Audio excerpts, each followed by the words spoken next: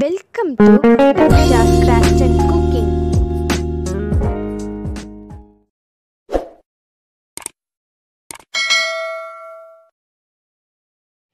hello friends இன்றைக்கி நம்ம சுவையான ரவா லட்டு எப்படி செய்கிறதுன்னு பார்க்கலாம் வாங்க.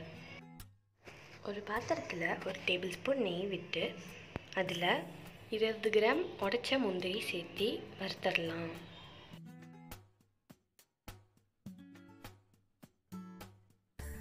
இப்போ இதில் நம்ம பத்து கிராம் உலர் திராட்சை சேர்த்து அது உப்பி வர வரைக்கும் வறுத்தரலாம். திராட்சை நல்லா உப்பி வந்துருச்சு. இப்போ இதை நம்ம தனியாக எடுத்து வச்சிடலாம்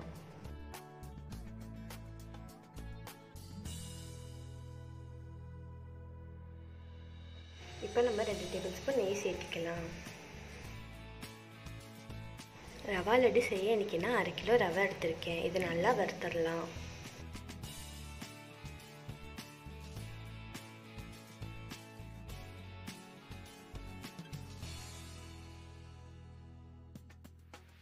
ரவை வறுபட்டோன்னே நல்லா வாசனை வரும்.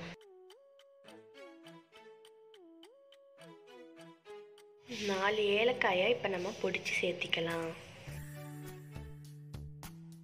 நம்ம வறுத்த முந்திரி திராட்சை சேர்த்து நல்லா கலந்து விட்டுறலாம்.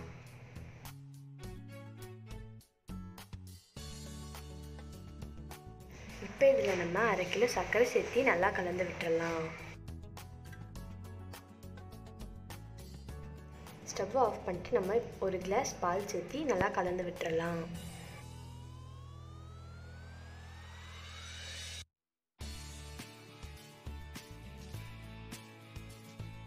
நல்லா கலந்தாச்சு. இதை நம்ம நல்லா ஆற விட்டுறலாம்.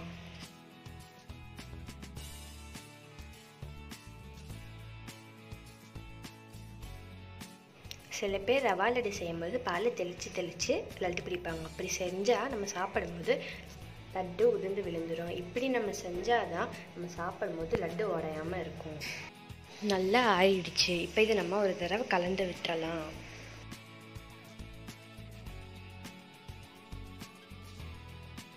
நம்ம இப்போ லட்டு பிடிச்சிடலாம்.